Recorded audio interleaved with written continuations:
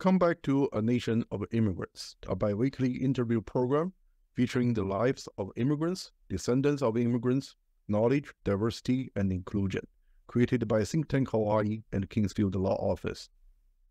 We invite renowned immigrants and uh, second, third generation immigrants to share their life stories, journey to the United States, and their contribution to cultural diversity.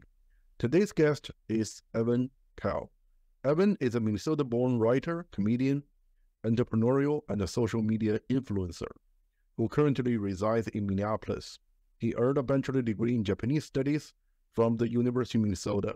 He is passionate about martial arts and currently holds the rank of third degree black belt in Taekwondo and first dan in Kendo. He's also a mixed media artist and author of Ubered, My Life as a Rideshare Driver, Ubered 2, Wolf in the Jungle, and the Wolf at the Gate. We're very pleased to have you here, Evan. Welcome. Thank you for having me. I'm happy to be here as well. Well, you are hard to define. I would say you have uh, you are uh, a novel novelist to me, a writer.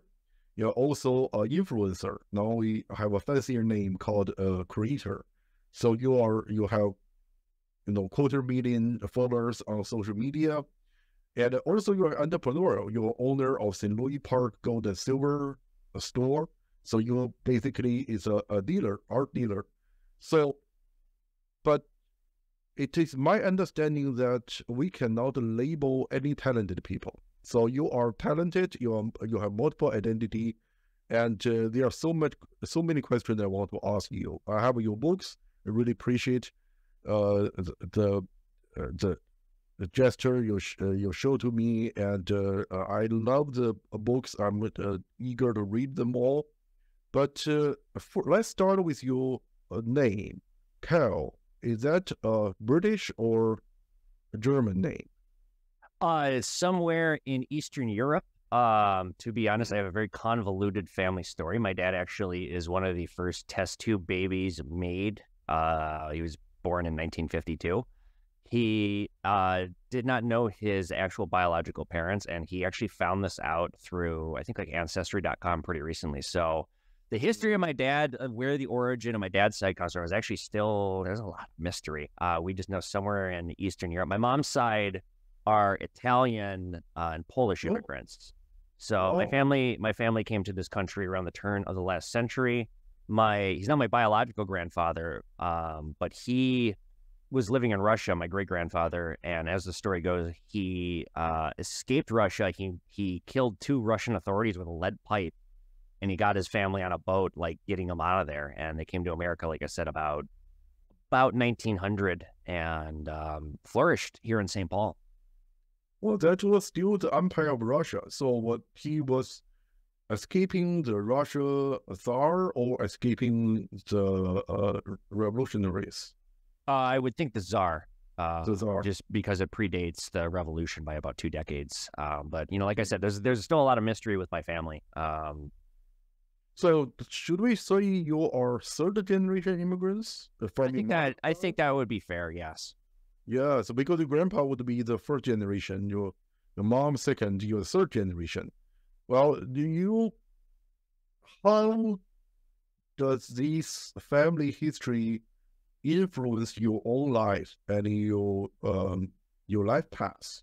Well, I was raised Jewish. My dad's side was Jewish. When my mom met my dad, she was raised Catholic, but she converted. And Judaism, it's not just a religion; it's it's a cultural identity as well. And although I don't really practice, um, I if I have children, I will raise them Jewish too. It's a lovely tradition, and the Jewish faith as a culture, it shapes your outlook on life. Uh, Jews are about loving life, about positivity, about hard work, entrepreneurialism. Um, Jews have been persecuted throughout human history. They're probably the most persecuted ethnic group in human history, or certainly one of them. I mean, it's not to, to make it a competition is is warped, but uh, the Jewish people have undergone quite a lot throughout the throughout the history of humanity, and as a result, we're uh, hardworking people with a positive outlook because we kind of have to be. It's a mean world. Well said. Well said, Evan. Well, you I, I, I think not only Jewish people are hardworking, but they're highly creative. and you have expressed your creativity through your writing, your comedy, and media art. What drives your passion for those artistic endeavors? And uh, in our view, that the Jewish, they are very good doctors, lawyers, you know, uh, the, uh, finance people, but you are art, art artistic people. So what what make you choose basically create creativity as your career path? Well, ironically, I get my artistic genes from the Goyim side, the non-Jew. It's a Yiddish slang term. It's not offensive. Right. It's it's uh, a term that the tribe likes to use, shall we say. My mom was a makeup artist. My mom was a very, very successful makeup artist, and she was a multi-talented, creative personality as well. I mean, she was in her day, her heyday in the time before social media. Uh, I have no doubt that had social media been around back in the 80s when her career was taking off, that she would have been an influencer as well. But so she, I get my artistic ability and drive from her. I get my sense of comedy from her. My grandmother as well was uh, a very talented uh, drawer and painter. Um, so just that creativity, that artistic side I get from my mom's side, and the entrepreneurialism I get from my dad's side because my dad has been, he's had a legendary career. Uh, he's uh, engaged in a number of entrepreneurial endeavors. He's been very successful. He's been also very unsuccessful in some things that have happened to him in his life. But just my parents are a fascinating combo. They they were frequently written up in the Star Tribune, the local Minnesota paper, mm-hmm. uh, as Minnesota socialites, as these these personalities that people around town just knew. So I get a lot of who I am and my personality and persona from that, and also my background. I grew up an only child. Um, I spent growing up as a kid, we had a cabin and we would spend summers up there and just not having siblings. It was, we had no internet. We had a very small TV, maybe about yay big with for yep. That we'd watch movies on. I figured out how to like jailbreak my Nintendo 64 onto it so I would play that. But otherwise, my summers were about entertaining myself and exploring my mind and my passions and my creativity. And that really fostered a lot of who I became, all the time that I spent as myself, all the time I spent by myself as a kid finding ways to entertain myself, drawing, coming up with skits, just making jokes to myself.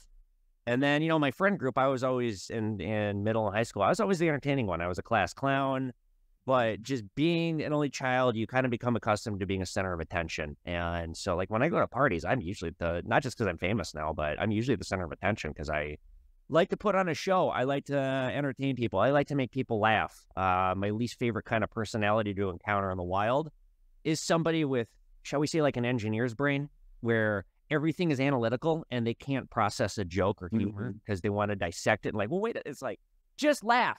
My God, don't don't think, just laugh. It's meant to be funny. So I'm always kind of like that. I'm always in, inserting jokes, even if uh situation I'm dealing with is heavy or not funny. I find a way to make it funny because I've also come to discover that making making humor out of something that is not funny is the best way to own whatever is not funny. Well, thank you so much for cheering people up. And uh, only when we realize the ultimate absurdity of life, and uh, we exactly. could begin to really laugh. Yeah. Well, I get to know you because you become a very famous people in the Chinese world, and you discovered a photo album depicting World War II Japanese war crimes in China. And that was a huge event because in 19 uh, 37 to 45 Chinese uh, fought against Japanese in China. And uh, after the Pearl Harbor became part of the World War II, the Allied forces, China partnered with the United States. And you discovered this very rare photo album, and then you donated it uh, to the uh, to China. So could you just walk through how you came across this album and what motivated you to finally decide that this belongs to China, not you, not in your store. All right, let me see if I can do this whole story in three minutes or less. I'm gotten pretty good. I've got pretty good at telling it. Uh, so I have a program. I entered the business that I'm in. I own St. Louis Park Gold and Silver, and I entered it very randomly. Basically, I spent my 20s trying to be a writer, and I failed. And I had a number of different outlooks that I was trying to succeed at. I first tried to break into Hollywood as a screenwriter and a film producer, and I, I mean, I honestly, I got pretty close, but it ultimately didn't work out. I pivoted to books. And in the meantime, the jobs that I was working were just low skill, high labor jobs just to, to get a paycheck so that I could devote all my time to my artistic endeavors, writing and creativity and such. And it still wasn't working. And so I was about to turn 30 and I thought I need a change.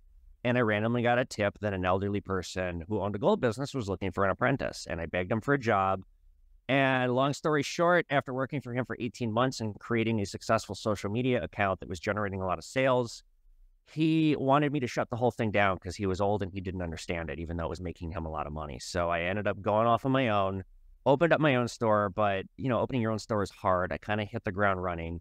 And I created this program. It started when I was working for this other person, and then I really kind of drove it home.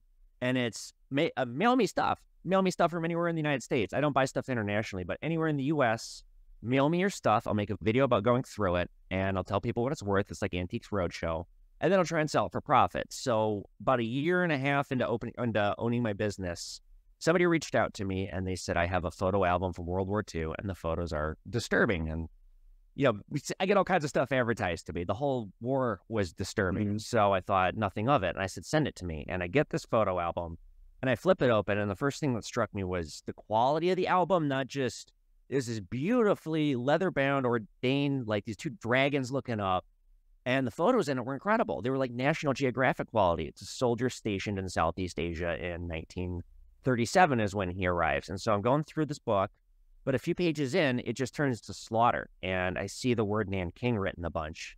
And having majored in Japanese studies, I knew all about the horrors of what happened in Nanking. And I thought, holy crap, this might be photos from the Nanking massacre. And these photos were, if these are real, these are really, really expensive. And I turned this over my head because I wasn't sure what to do. One of my rules is uh, I don't buy stuff affiliated with war crimes. It's got to go to a museum. It's just too historically important. It does not belong in a private collection. It's an ethical concern, and frankly, I just think it's a slant to his. It's uh, it's not good for history to have things like that in private collections. They need to be studied and preserved and shared with everyone. So I turned this over my head a couple days what to do, and the guy reaches out to me and he's like, you know, hey, I know you got my book, like you know, pay me or what. And I find myself in this dilemma. And meanwhile, might be photos of Nanking in my head over a few days turns into I think these are. And so I made this TikTok because I this guy wanted an answer, and I thought, well, I just got to scream so loud that people hear me because I have had items that belong in museums advertised to me in the past, and every time I'd reached out to a museum, I never even got the time of day. And I had a quarter million followers at this point. So I thought I just need to make a video that gets attention because that way I can get a museum to take this. And what I accidentally did was created a perfect storm of words with a TikTok, and the video went immediately mega, mega, mega viral. It got like like tens of millions of views. It was shared internationally within 24 hours. And I suddenly found myself the ire of the internet because I made a mistake. Uh, a lot of the photos were what are known as souvenir photos. Uh, these are photos that were taken and sold for profit, and they were copies. And sailors would trade these photos. I don't know why they would do this. It's really gross, but they would trade these and fill these books that they would have with these photos. Not all of them were real, only, or not all of them were fake. Only maybe about 20% of them were souvenirs. And they're like the best quality souvenirs out there. Uh, no, obviously, nobody looked at this book. So what had happened was the original soldier took the photos back after the war, and he died in 1964. His name was Leslie G. Allen Jr. And his wife contracted the person that I ended up acquiring the photos from. Uh, his father did a contracting job, and the lady didn't have enough to pay him, so the story goes. And so she gave him this book in lieu of payment. He died. He never looked at it. Son's going through his stuff, finds the book, and that's how it ends up in my hands.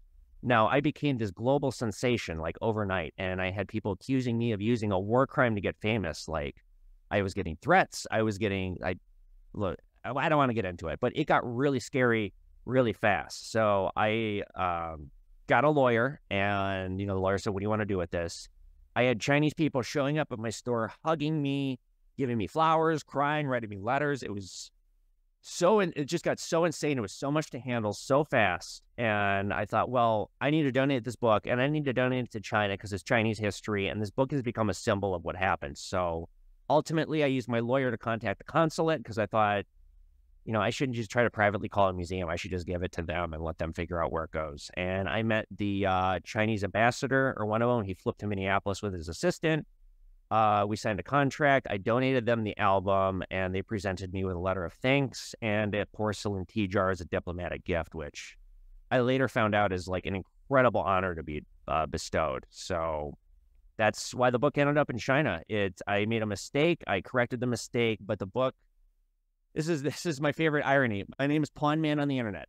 I don't own a pawn shop. It's just a catchy name. One of my followers started calling me Pawn Man when I first started making videos, and I thought that's a great name. And so now I trademarked it and branded it.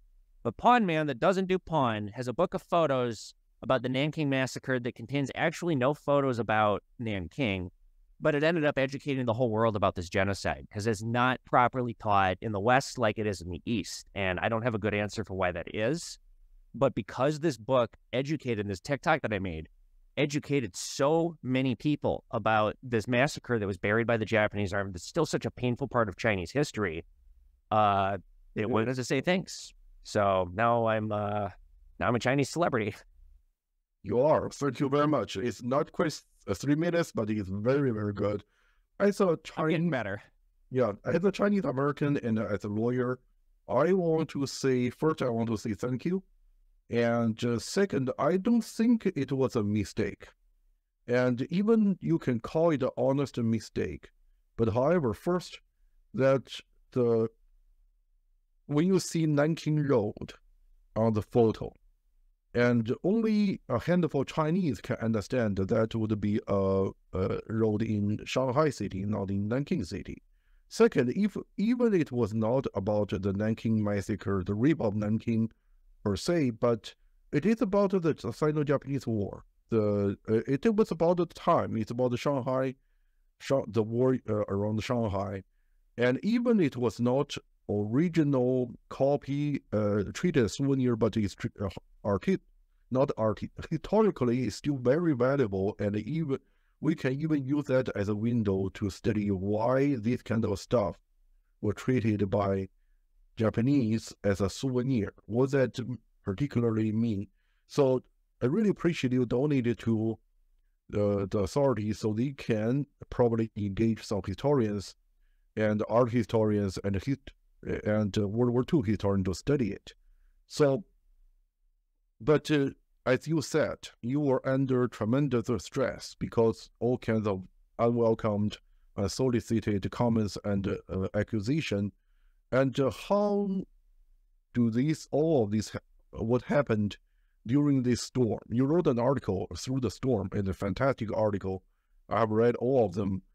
And uh, how did these make you to look at the power and um, the of uh, social media and how does this uh, impact your thinking of the social media well as far as what it did to me i mean i wrote about it in the essay uh, if you visit my website uh, uh, pawnmanstore.com i think where it was for a sec i posted all the photos on my website as well as this essay that i wrote detailing all the crazy that I went through because it is a new facet of our culture. This uh, video that gets shared across the internet all over the world and gets picked apart a million ways from some Sunday, and everybody has an opinion. And to have your actions and words taken out of context and have it completely run away from you in a way that you can't control. And potentially, you know, I'm thinking, I'm sitting here looking at this thinking, like, God, did I ruin my life? Did I ruin my reputation forever? I may never be able to fix this. I might be the the World War II hoax guy. What a horrible thing! They're accusing me of using a war crime to get famous. That's the even I want to punch me. You know, hearing that. So to have that on your conscience, have you know everybody sees you, everybody knows you. For you know, it's faded now, but definitely I was getting recognized everywhere I went, and not like not in a good way. And it was really scary. And it just speaks to the power of how fast things spread on the internet, how uh, right now somebody could create another perfect storm of words with the right tone, the right words, the right setting, the right backdrop. Uh, anybody can make something like this, and I did it on accident. And you know, Mr. Beast uh, is a good example, not for the the same reasons, but that's a guy that is able to make a viral product no matter what. He even has said in interviews, there's ways to do it, and when you make something like that, it's a bullhorn heard around the world. Uh, never in a million years did I think this thing was going to spread so fast. Like I said, as far as what it did to me, it absolutely melted my brain. I I had a couple weeks of like just men- mental duress, the likes of which I've never felt in my life. I developed some substance abuse problems. Um, I lost 20 pounds. I wasn't eating. I was puking. I was having panic attacks. And I'm still in therapy. I see a therapist now because of this. The last, the damage that this caused me is ongoing. It's getting better, but it's um, it's a lot to deal with, and it, it's a, very exclusive club to be the subject of this viral video that's picked apart. And I wouldn't I tell you guys, anybody watching, you don't want to be in this club. It's not fun. Um, so it's it's you know, I came to fill in the shoes of something that's new in our culture with technology and sharing information. And them is heavy shoes that make you sink in water. I'll tell you that much. Well, thank you for sharing. Uh, uh, I'm sorry, Evan, what happened. The cyberbullying is a real thing now, and uh, it's just uh, so absurd and uh, it's illogical, and it just uh, very quite hard to to understand. The, the sorry to interrupt, but the internet is not a nice place, and we went in. Oh, like a jungle the road to hell is paved with good intentions. As they say, the internet was created for good, or it was thought of as being this good gateway that was going to change the world and make it more fair and just. And instead, all it's done is embellish all the evil and terrible in people. Uh, it's created this culture of never say sorry, of bullying, of attacking, of stupidity. You know, it's ironic that the sharing of information is actually largely made us dumber. Um, mm-hmm. Oh, totally agree. Totally agree.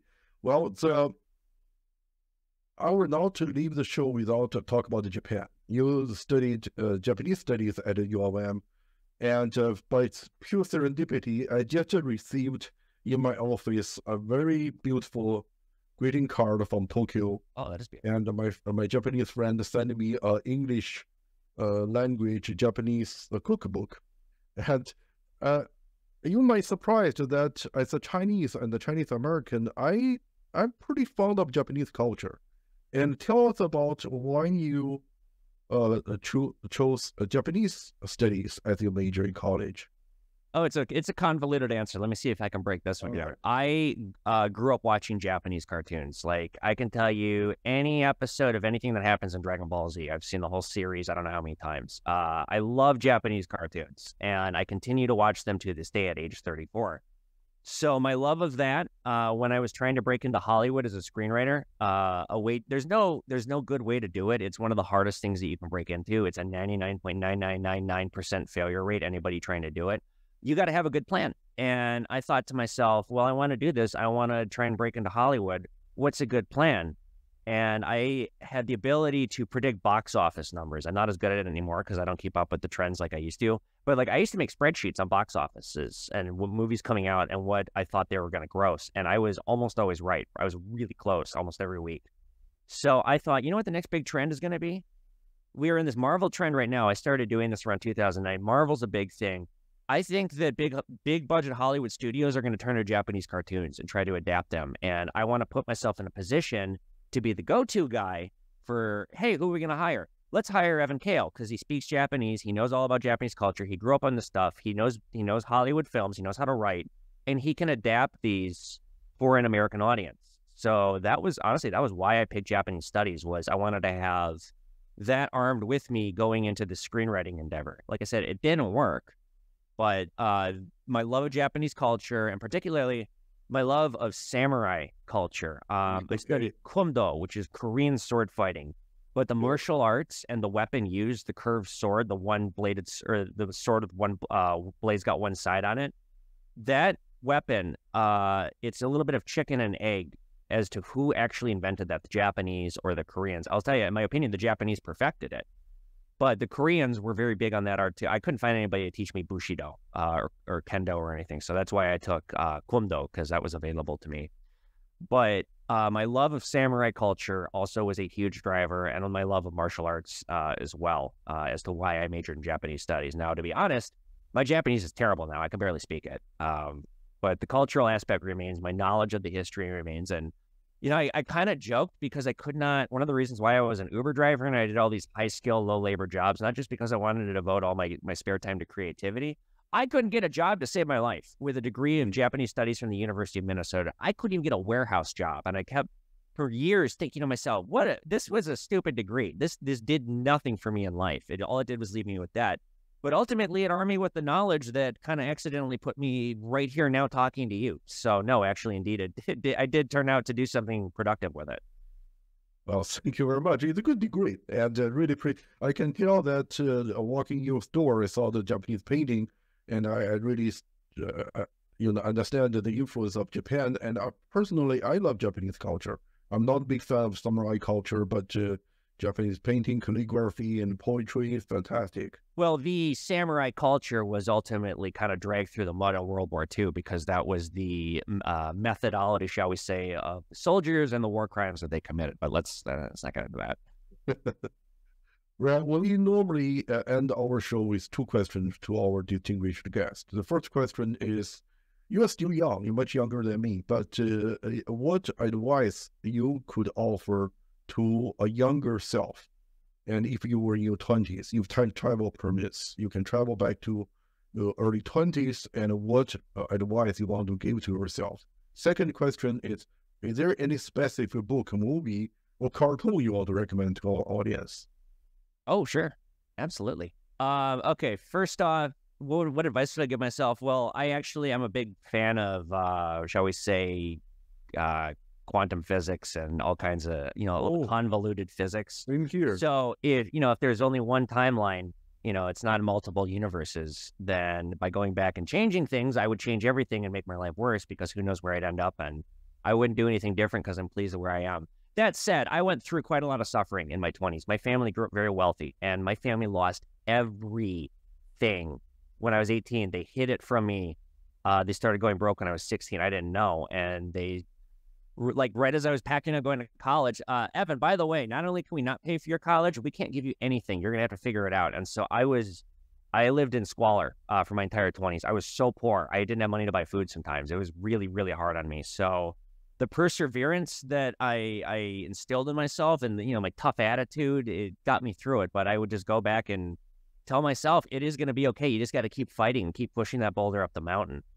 Um, I would also give myself the advice of taking advantage of social media a lot earlier. Uh, mm-hmm. I really wish I had gotten on YouTube when I originally wanted to in 2008, 2009. That was, I, I mean, I might be way more famous now, way more successful. Uh, but you know, again, I'm not, I'm not discrediting or discounting where I am now. Uh, I had some reservations about putting myself out there on the internet. I thought, well, what are people going to think of me? And so that prevented me from making videos. I didn't start making content until 2014 or 15 and my my like first youtube videos are kind of unwatchable. They're really bad. This pawn man persona ended up being well i failed and how do i make a niche where i can break out? Because what you need now is you can't just be beautiful. You can't just be queer. You can't just have one thing that you're going to talk about. You got to have something really niche and be really good at it. And when i started making content for pawn man i looked out on the landscape of social media and i saw my god there's nobody in the space or at least nobody like me with a personality. And that was immediately an advantage to me. So I would have got myself on social media a lot earlier. Uh, second question: What would I recommend for Japanese for cartoons? So my all-time favorite movie, I have two. Uh, live action all-time favorite movie is Pulp Fiction, but my other all-time favorite movie is Princess Mononoke. I've seen it probably fifty times. I am a hmm. huge fan of Hayao Miyazaki. He's a, I'm not gonna swear, he's a master of what he does. Uh, the newest movie that just came out by, I absolutely loved it. The Boy and the Heron. He's he's such a genius with everything he does. So any Miyazaki movie I'd recommend. My all-time favorite anime, I have two. Uh, Cowboy Bebop. Uh, a lot of people say that that is the you know kind of the go-to everyone's favorite anime. It's an excellent cartoon, massively impactful on my life. The story is excellent, the music's great, the art is great, everything about it it just sings there's a live action adaptation on Netflix that I actually thought they did a good job. Uh, one of the mm-hmm. hardest things with adapting Japanese cartoons, it is really tough to make it live action, to make it engaging and interesting, and to have a story that relates, especially to American audiences. And Netflix's product, I thought, was fabulous, and they canceled it after one season because it wasn't getting good ratings or reviews, or people weren't watching it. So that's a. I'd recommend you guys check out the first season of it. Um, it really was great.